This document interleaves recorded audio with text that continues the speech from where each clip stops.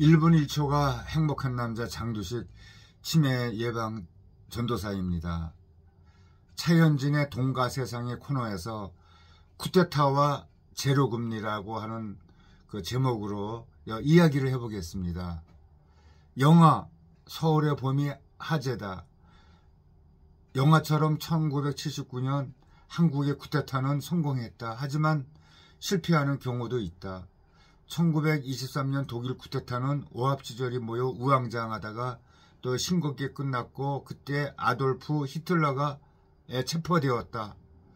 변변한 직업이 없어 연금으로 생활하던 히틀러는 제1차 세계대전이 터지자 자원 입대했다. 그리고 패전 후 정보부대 하사관으로 또 진급을 했다. 그의 임무는 불온 단체를 색출하는 것이었다. 1919년 9월 어느 모임에 참석해서 염탐했는데 그날 강사는 나치당원 고트프리트 페더였다. 페더는 청중에게 이 자리는 족쇄에서 벗어나는 법이라는 또 책을 뿌렸다. 유대인들이 장악한 독일 금융계를 전복하는 것이 독일이 번영하는 길이라면서 철폐를 주장하고 또 있었다. 책을 훑어본 히틀러는 무릎을 쳤다.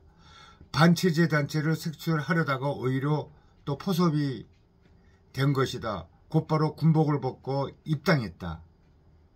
타고난 대중연설 능력에 힘을 입어 1년 뒤 당 송전 부장이 되었다. 다시 또 1년 뒤에는 1921년 7월에는 당대 그 당 대표까지 밀쳐내고 당권을 잡았다. 1922년 10월 이탈리아에서 무혈 쿠데타가 벌어졌다.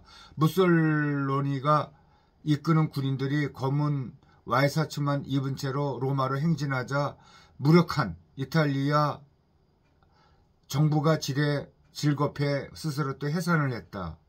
히틀러가 거기서 큰 영감을 얻었다.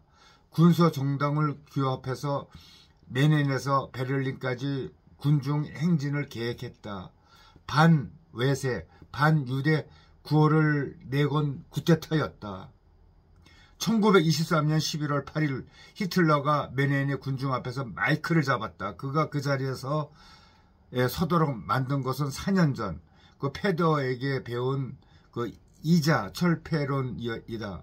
유대인 자본가를 몰아내려고 등장한 그의 이론이 한참 뒤 현실로 되었다. 놀랍게도 유대인이 피가 흐르는 사람이 실행한 것이다. 2008년 12월 16일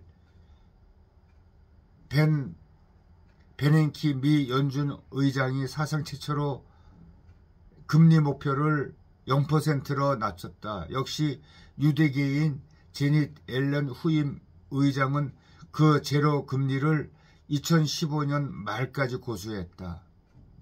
네, 이 글을 쓴 분은 예금보험공사 또 이사이기도 합니다. 또 히틀러에 대한 그 이야기를 또 잘 들었습니다. 감사합니다.